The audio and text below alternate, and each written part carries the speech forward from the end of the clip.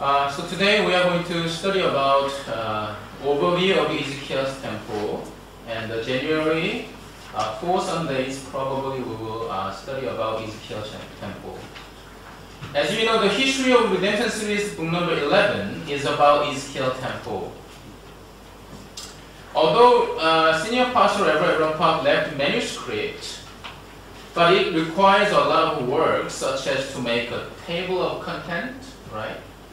Uh, the Reverend Park didn't leave manuscript as a book, right? He he left the manuscript as a sermon notes, as a as a as a as a uh, as a as the uh, raw material, right? So in order to make these manuscripts into, uh, convert this manuscript into the book, uh, you have to choose which one comes to introduction, which one comes to being number one, which one comes to being number two, right? So making a table of content is actually quite uh, important work. So uh, that takes a lot of time. Also making a chart and a map, right? according to the contents, right? For the easier, for the easier understanding, making uh, a chart or map that is also necessary. So that also takes a time, right? And especially if some publisher tries to put a 3D floor map, 3D floor map, right? Although we don't have all the measurements uh, regarding to Ezekiel temple, but yet we know some measurement about the length of the pavement and the the, the big, uh, the entire sizes and everything. So uh, according to it, we try our best to make a 3D uh, floor map of Ezekiel temple. And the professional advisor said that actually will take very long time. So uh, as we announced, uh, Jail is looking forward, looking forward to publish, uh, publish the 11th history of Redemption series by the 6th of August. 6th of August this year. So firstly, I would like to ask you to pray and support this work, right? Uh, so that uh, it will not be delayed, it will not be postponed, it will not be hindered by anything else, any, any other thing, but uh, uh it will be published as is planned, as according to God's will. Amen? Thank you. So introduction today. Uh, Reverend Abraham Park said that the Ezekiel temple is actually a blueprint of the holy city, New Jerusalem. The Ezekiel temple is a blueprint. So if we understand Ezekiel temple, right, we will understand New Jerusalem. Right? So this will be New Jerusalem, right?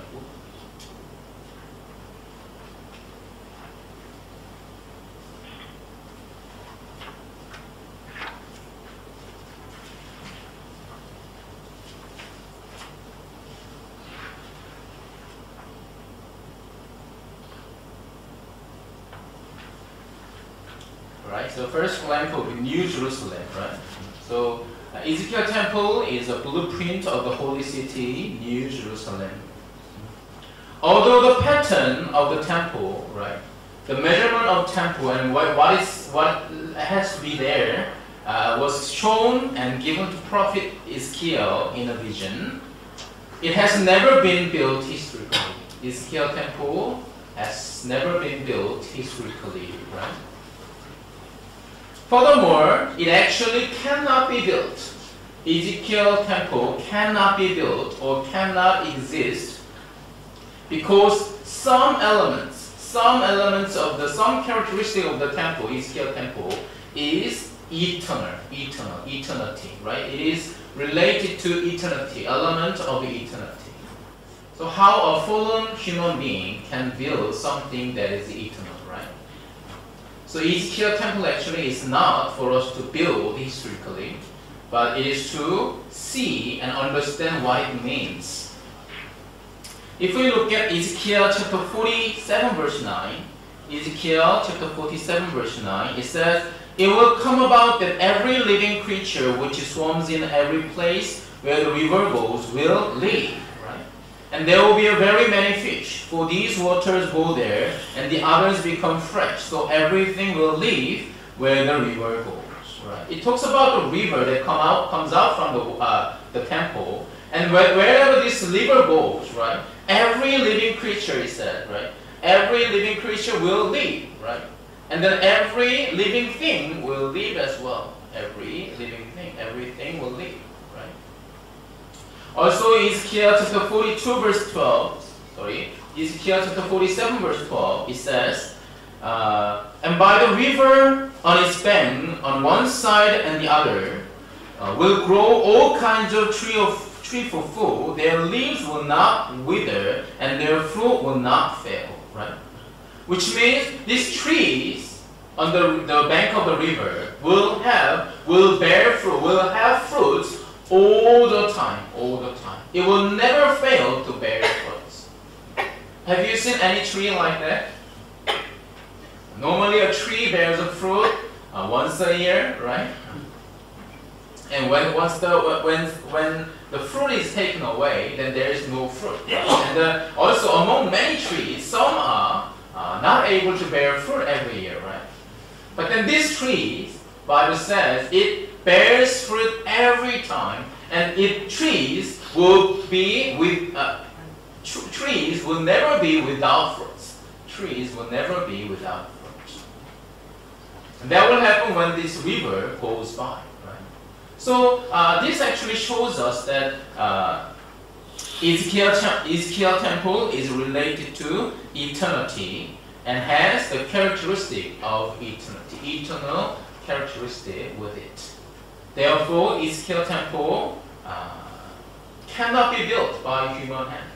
Because a fallen human being cannot build something that is eternal or something that has a characteristic of eternity. So, uh, number one today is when the vision of the new temple was given. So, time, right? When the vision of the new temple of given. Firstly, uh, Ezekiel chapter 40 verse 1. Ezekiel chapter 40 verse 1. It says, In the 25th year of our exile, right? So in the 25th year of our exile, at the beginning of the year, on the 10th of the month, on the 10th of the month, and in the 14th year after the city was taken, in the 14th year. Right, so it gives us three uh, uh, clues about when uh, this vision was given, right? First, is the 25th year of the exile. 25th year. Right, 25th year of the exile. We know that there were three occasions that uh, when the people of Israel were taken to Babylon? There were three uh, exile, three deportations, right? So first deportation was what? 605, right? 605 BC. The king was Jehoiakim, right? Jehoiakim first.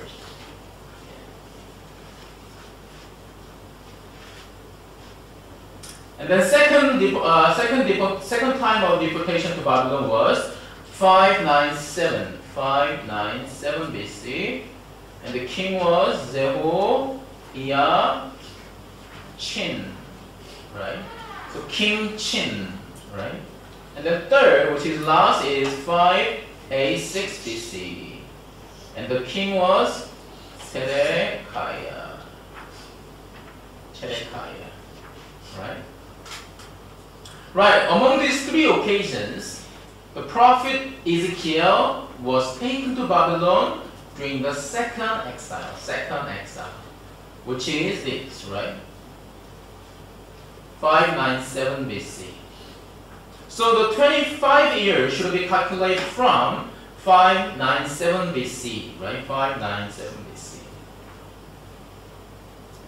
So if we use the inclusive calculation calculating method, right, which is uh, calculate the year that uh, was taken from taken to Babylon and the and the year, right? So if we use the inclusive calculation, inclusive method, that the 25th year from 597 BC becomes 573 BC. 573. 573 is the 25th year since the second exile to Babylon. Also, secondly, it gives a sec- uh, another hint. It's the 14 years after the city was seized, right? 14 years after the city was seized. Right, when the Jerusalem, city Jerusalem was seized, there are three exiles, right? There are three occasions. Uh, first occasion, first deportation, the Jerusalem was still there, right? Second exile, Jerusalem was still there. Uh, we, we say the total destruction, right? The end of the southern Judah or end of Israel is 586 BC when the, uh, the third deportation happened, right? And the third deportation happened, the city of Jerusalem also collapsed and nothing left there. So the time of the city of Jerusalem was seized is 586 BC, 586 BC. So these 14 years should be calculated from 586 BC here, right? So if we calculate uh, 14 years from 586 BC, it also uh, uh, becomes uh, 573 BC here. 573 BC. This one also has to be inclusive method, right? This is uh, this is not after the year when the city was seized, but then the year that city was seized, that is the first year, right? And then second year, third year. So 14th year of, uh, of uh, 14th year after the city was seized is 573 BC. Right. So if we calculate from the uh, in the perspective of those who uh, were taken to Babylon during the first deportation, which happened in 605 BC, right? Uh, this year when Prophet Ezekiel received vision was how many years after their deportation? First deportation? It's a, uh, if we calculate, it's a 30, 33rd actually. 33rd. 33, 33, but uh, 30, also, it's an inclusive method, so it's a 33rd year. 33rd year. So 6 of, from 605, 573 is 33. Right? right, what we can understand from here is uh, it was a time when people had no hope for restoration and no hope to go back to Jerusalem, isn't it? It's been already 30 years. 30 years is about one generation, right? We said. So the, when the father was taken to Babylon, the son became 30 years old already, right? So this generation has no hope that we could be restored, or this, uh, this they, they could go back to land of Canaan, or they could go back to their country. They could go back and restore their country, right? After the 33 years, that is the time where, where there is no hope where there is no hope for the restoration, there is no hope to go back to home country. Yet, this was a time that God chose and gave this vision to Prophet Ezekiel to enhance, to give them a hope. No, I remember you, right? I am the living God. And I decided, uh, my plan is for you to be restored my plan is for you to go back to your home country and rebuild your home country. So when there was no hope, God uh, gave this vision to uh, encourage people and give them a hope that God still lives and God will do His work. God will restore us. And the thirdly, It was the tenth day of the first month. It was the tenth day of the first month.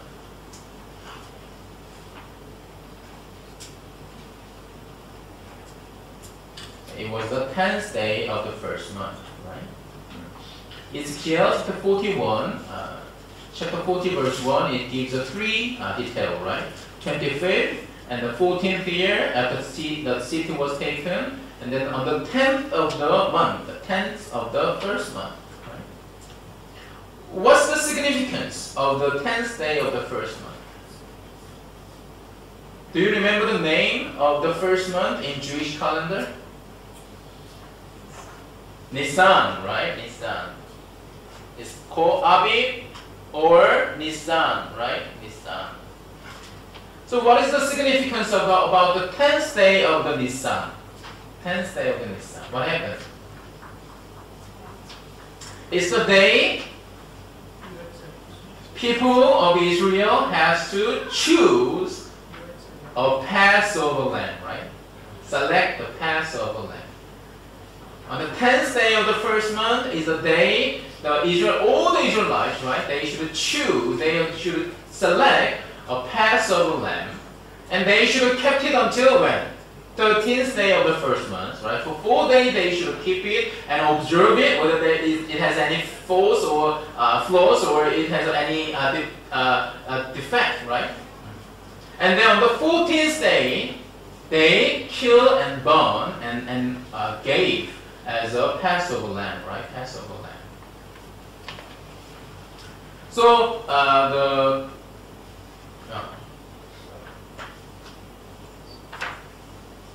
The, the answer of the first uh, circle number one is Passover lamb. Passover lamb. Passover lamb was prepared on the tenth day of the month of Abib, right? Uh, shall we read Exodus chapter 12, verse 2 to 3? Can anyone read it for us? It's there on the lecture note. This month shall be the beginning of months for yours for your, it is to be the first month of the year to you. Speak to all the congregation of Israel, saying, On the tenth of this month they are each one to take a lamb for themselves, according to their fathers' households, a lamb for each household. Amen. See, uh, the, on the tenth day of this month, they are each one to take a lamb for themselves, right? So Passover lamb should be selected on the tenth day of the first month and kept until 13th day, and then on the 14th day, the lamb should be taken, right?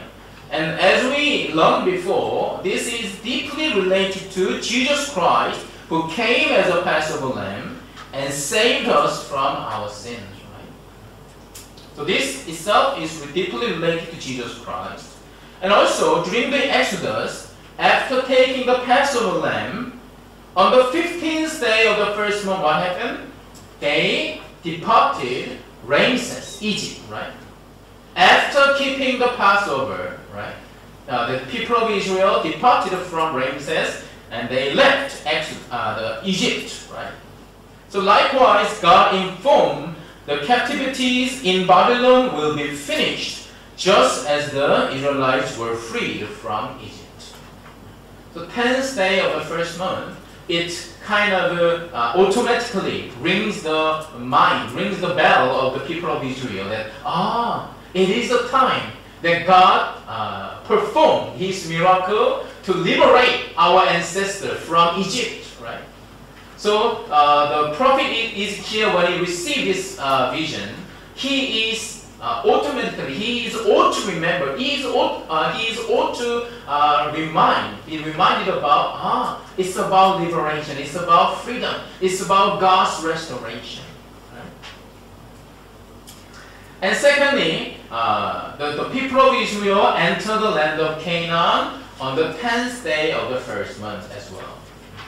So after the 40 years of wilderness journey, right, they finally went into the 41st campsite, which is the plains of Moab, right? And then they crossed the Jordan River and reached the last campsite, which is Gilgal, right?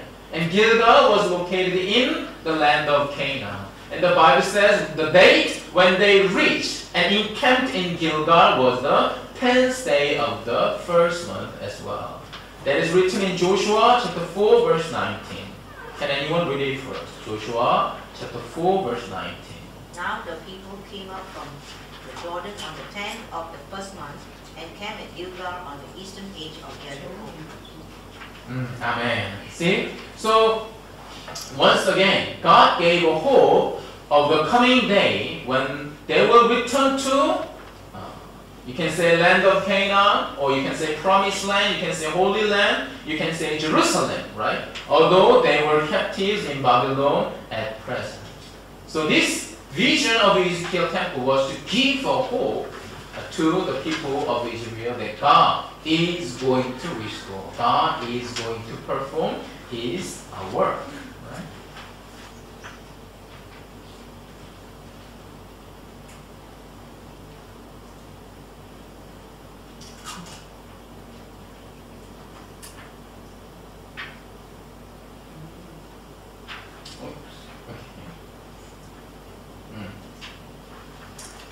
Uh, okay.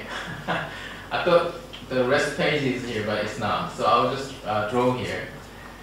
Right, and then the uh, another interesting fact about this 10th day of the first month, 10th day of the first month is this is the date when the prophet Ezekiel was taken to Babylon.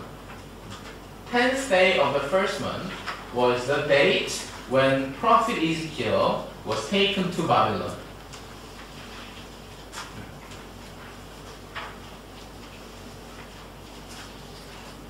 Uh, Second Chronicle, chapter 36, verse 10. I'm, I'm sure is the scripture is there in, in your lecture note, right? Second Chronicle, chapter 36, verse 10. I'll read it for you. And at the turn of the year, King Nebuchadnezzar sent and brought him to Babylon with the valuable articles of the house of the Lord. And he made his kinsman Zedekiah king over Judah and Jerusalem, right? It says at the turn of the year, at the turn of the year, right? So we know it's probably the early, early day, days of, of, the, of the new year, right? But we don't know exactly when, right? But if you look at, uh, there is a, uh, the, the uh, book, the article, book says uh, Babylonian Chronicle, Babylonian Chronicles, Babylonian Chronicles. If you look at Babylonian Chronicles, it actually stated that the, uh, the, the date when King Nebuchadnezzar uh, took uh, Jehoiachin, right, Jehoiachin to Babylon was the 10th day of the first month, 10th day of the first month. And that was actually the date, and the, the, the detail is explained well in uh, History of the Series book number 5, book number 5. Uh, English English version, English book, 219 page, page 219, and then Korean version 299, right? If you look at 219, page 219 in English, uh, book number 5, or 299 for Korean, uh, book number 5, you will see the details and explanation about this 10th day of the first month. So the 10th day of the first month was the king Jehoiachin was taken to Babylon, where uh, same as uh, prophet Ezekiel, right? Prophet Ezekiel was also taken to Babylon on the 10th day of the first month. Now, here's the thing, right? You are taken to your, you are in capture by enemy. You are taken to enemy city, enemy's country, right? Is that something that you can forget easily? No, isn't it? If you buy your house, if you buy a BMW, if you buy a Bentley, right? Sometimes you may not be able to forget, right? Because it's a good thing. But if you taken, if someone took your BMW away, I think that day you cannot never forget, right? You can never forget, right? Same. For, for, if for Prophet Ezekiel, the 10th day of the first month was unforgettable day because that was the day that he was taken to Babylon. Yet God chose the exact same day, right? Exact same day to give him a vision. Give him a vision. So prophet is Ezekiel, right? Uh, moment that he received this vision, he he understand. He is, he was able to understand that ah, this is about restoration, right? This is the day that I am Babylon, and God is showing something special on this day, right? Therefore, this must be related to restoration and going back to home, right? So if you look at uh, Ezekiel chapter 40 verse 1, Ezekiel chapter 40 verse 1, I'll read it one more time for you. It says, In the 25th year of our exile, at the beginning of the year, on the 10th of the month, in the 14th year after the city was taken, on that same day, the hand of the Lord was upon me, and he brought me there. Right? On that same day, in Hebrew, is Hayom Hazeh. Hayom Hazeh. I think uh, in Korean lecture note is uh, printed correctly, but in English no, English lecture note it may not uh, may have not been printed correctly. So I'll write here Ha Yom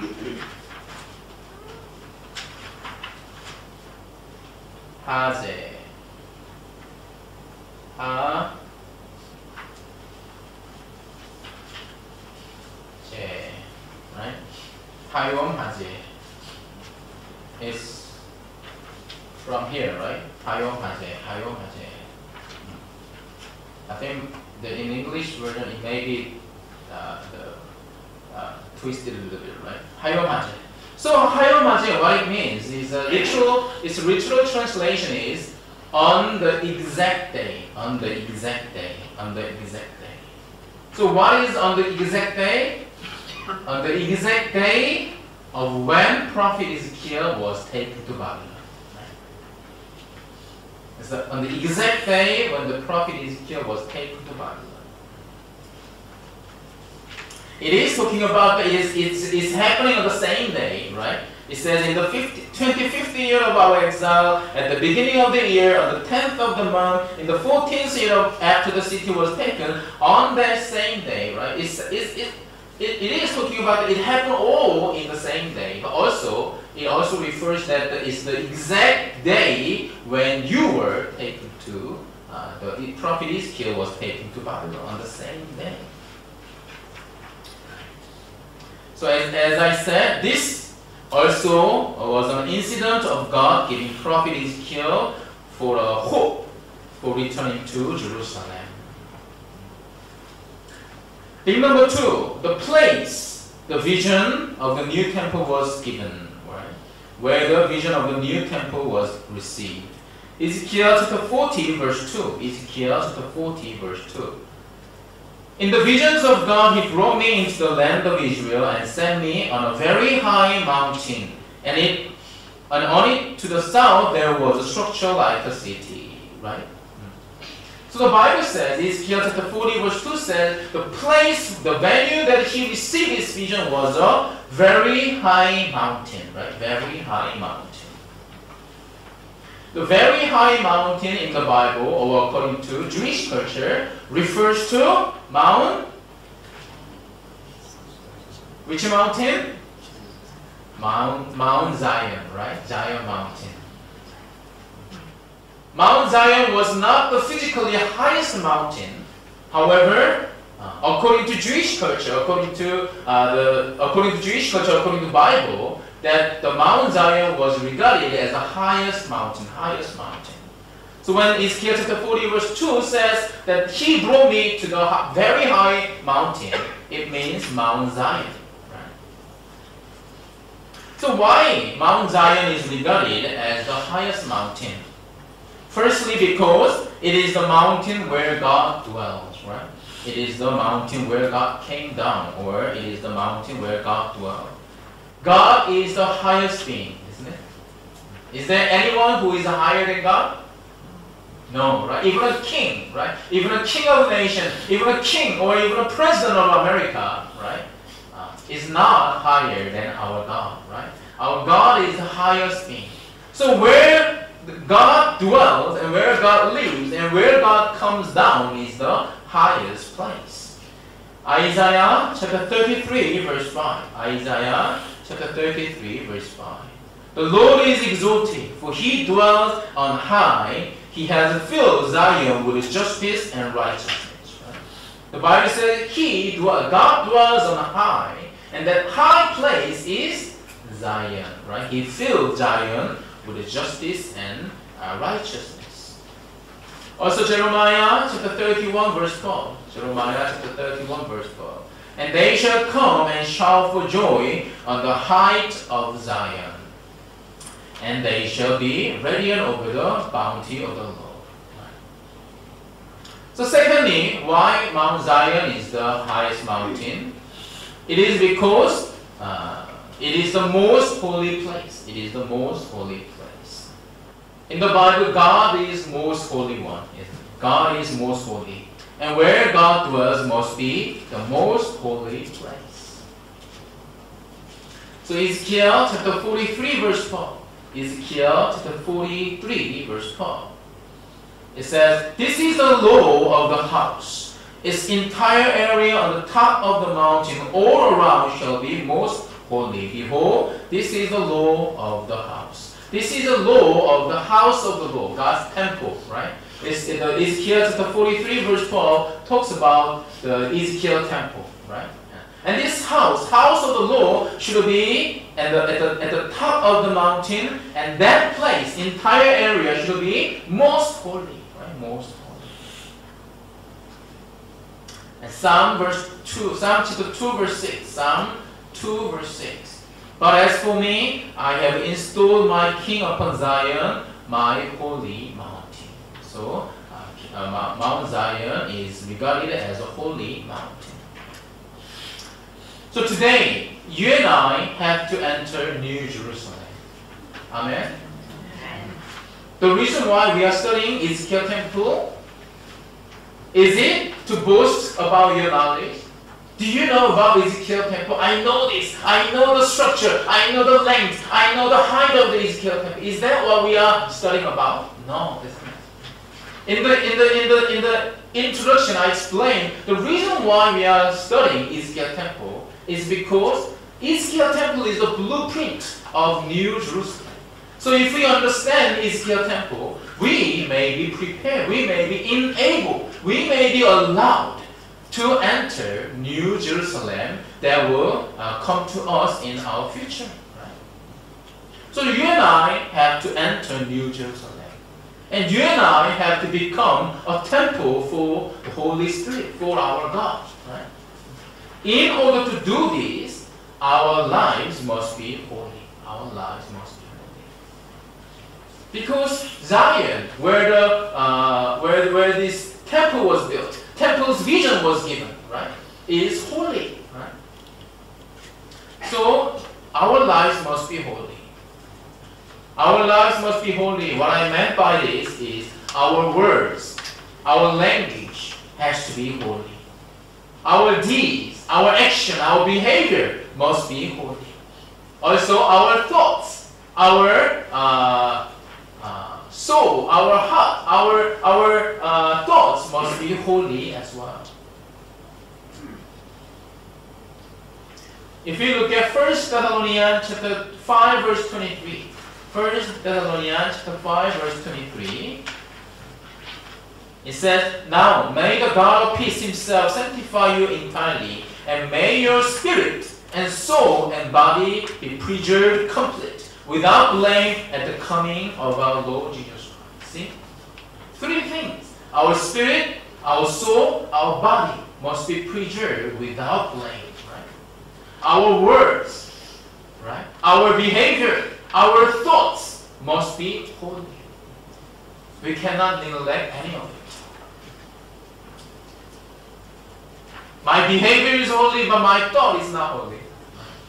My, my thought is holy, but my, my, my word, my language is not holy.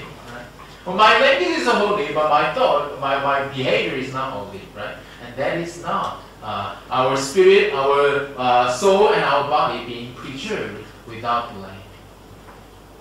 So when we think about becoming holy, right, being sanctified, right, our words, our deeds, our thoughts must be must be sanctified and must become holy.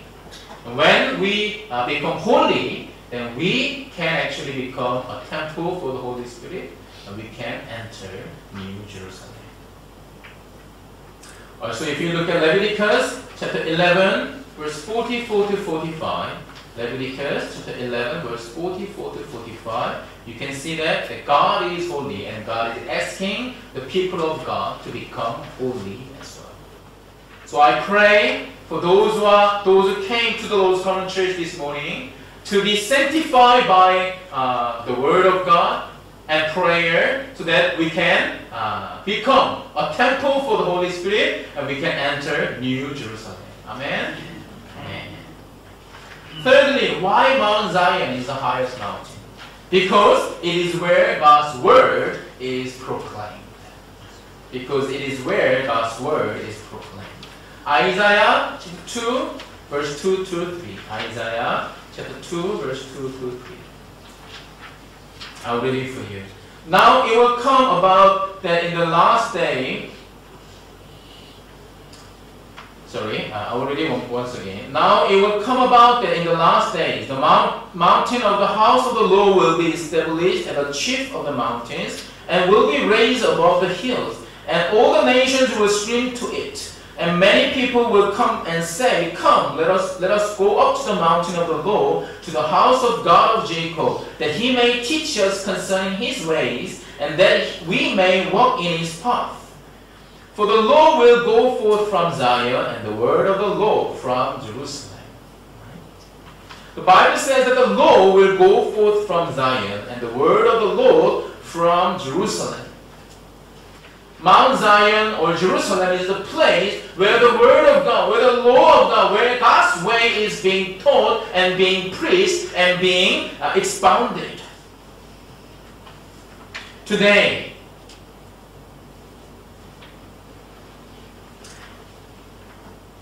where the Word of God is proclaimed is spiritual Zion and spiritual Jerusalem. Right? If Zion and Jerusalem is the where the law is being preached and the, the word of God is being proclaimed, today, where the word of God is proclaimed is the spiritual Zion and spiritual Jerusalem. Today, where the word of redemptive history is proclaimed and explained is spiritual Zion and Jerusalem. Therefore, I believe that you and I came up to Mount Zion today. Amen. We are in Mount Zion today. What does Jerusalem mean? What does the word Jerusalem mean? Jerusalem means the city of peace. Right? City of peace. Jeru means city. Salem means peace. So Jerusalem is the city of peace. What does Pyungkang Cheil mean? Pyungkang Cheil. Peace number one, right? Peace number one. Or uh, Malaysian word, peace one, right? Peace one. Like a Malaysian one, peace one. Peace one church is Pyungkang Cheil Church. It is not a coincidence that God gave us such wonderful church name. So as we are at the spiritual Zion, where the word of God is being proclaimed, proclaimed, now we must receive the word of God and we must understand the word of God. Amen. Prophet Ezekiel was there. He was given the vision, but if he refused to receive the vision, then God's will will be uh, jeopardized and cancelled, right? God's will cannot be uh, fulfilled. And if a prophet Ezekiel was not able to understand this vision that God gave him, right? Also, God's will will not be fulfilled. So, yes, being in the Mount Zion, being in the spiritual Mount Zion, being where the Word of God is being proclaimed is, is good, is wonderful thing. But if we are here in the spiritual Mount Zion, then our duty is to receive the Word of God with a grateful heart. Secondly, we have to understand the Word of God that we receive. We have to receive the vision of the Ezekiel temple. We have to understand the pattern of the Ezekiel temple. And as we said, as I said, right, the reason why God gave Prophet Ezekiel the pattern of the Ezekiel temple, flow map of the Ezekiel temple, was to give him, give God's people a hope for a restoration. So if we understood the pattern or the flow map of the Ezekiel temple, finally we should be able to uh, receive a hope for true restoration, true restoration. Do you remember what does uh, history of redemption means? History of redemption, creation, fall, and the restoration and consummation. We can say simply, right? What's what's in the what's in the end? In the end, God will perform and bring about restoration and consummation. So this, I, I hope, this book 11, and I hope this lecture regarding to uh, Ezekiel Temple may give you a hope for God's true restoration and God's true consummation. Amen. Amen. Amen. Amen.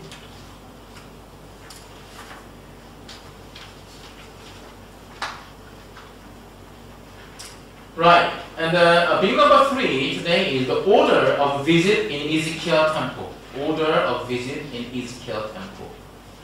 Now, prophet Ezekiel, by God's great might, visited each place of the temple. This happens in a vision, right? Happens in a vision, but uh, he was able to visit every place, right? So let's see the order of his visit. Uh, we are not going to learn uh, in detail. We are not going to learn in detail, but let's read one by one. Can we? So shall we read it together? Uh, just read as the lecture note says. Uh, the, the name of the place may be a little bit differ, different from the uh, map that you have, right? So uh, doesn't matter. Today, let's follow the lecture note and let's read these 25 places. So let's start from the number one. First place were on the outside of the temple or around. Right?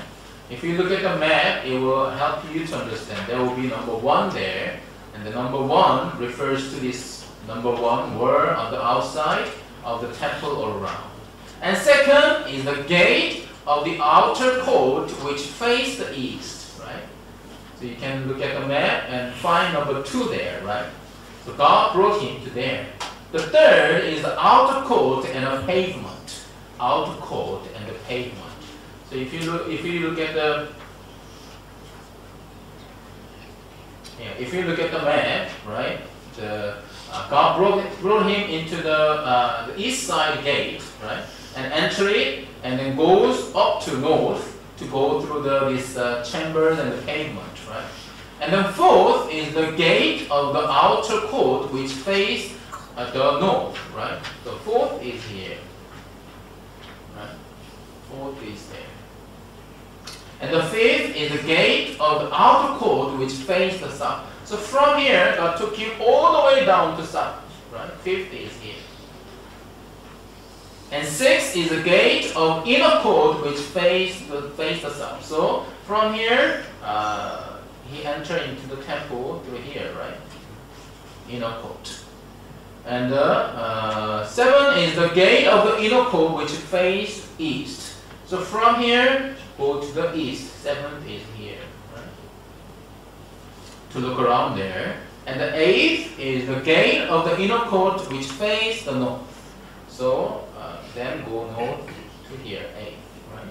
And ninth is the chamber where the burnt offering is rinsed. So it's the uh, little room above this place. There's a nine, right? Little room that rinse the offer, burnt offering uh, sacrifices. And then number 10, number 10 is chamber for the priest who keep charge of the temple and the chamber of the priest who keep charge of the altar. So number 10 is, you can see on the map, it's here. Right? 11 is the gate of the porch of the temple. Gate of the porch of the temple. So 11 is now inside here. And 12 is the sanctuary and the most holy place. So you can see that he goes in now. The 13 is the side chamber all around the temple and the court of 20 cubits in width. Uh, Can you find 13? Yeah, 13 is here, right? 13 is here.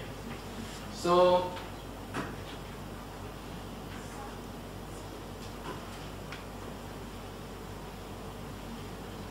uh, is according to the arrow there, right? It's, it's it means that he went out to the uh, the from the temple and go around, right? Go around to go to 13, number 13. And the number 14 is a separate area toward the west, and the size of the temple. So now he came to this number 14 here, right? And then 15 is the inside of the sanctuary where cherubim and palm tree are carved. Right? Uh, 15 is uh, again inside the temple, so goes in again, right? Here is the 15. And 16 is the altar of the wood, door of the nave and the sanctuary, and the thresh, threshold of wood, right? So it's where normally the altar of incense is located in the tabernacle, right? And the 17 was the holy chamber of the priest. Holy chamber of the priest. So now he came out, right? Uh, and then number 17 is here. Number 18 is the measurement of the wall around the temple.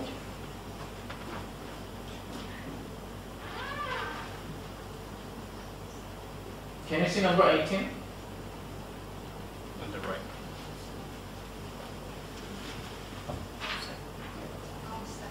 Oh, oh yeah.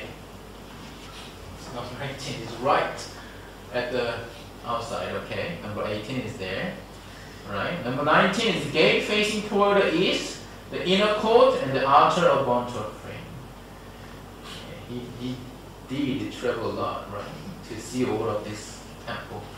Alright, number 19 is there. And the number 20 is the outer gate of the sanctuary which faces the east and the court. Number 20 is also here, right? And then number 21 is the boiling places for the priest. Boiling places of the priest. Uh, yeah, 21 is right back here, right? 21. 22 is boiling place for the sacrifices of the people. Number 22 is here, right? All these four corners is number 22. Number 23 is the door of the temple. Door of the temple.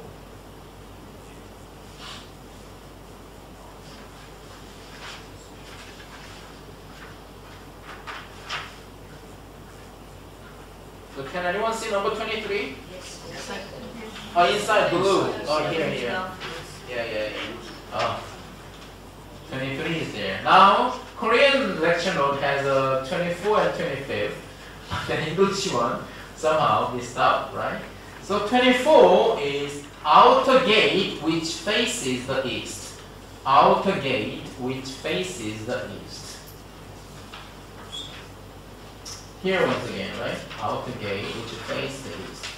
So it comes back right, right?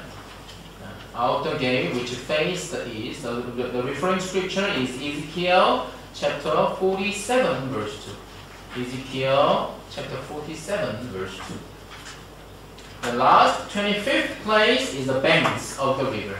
Banks of the river. Refer, uh, the scripture, relevant scripture is Ezekiel chapter 47 verse 3 to 12. Ezekiel chapter 47, verse 3 to 12.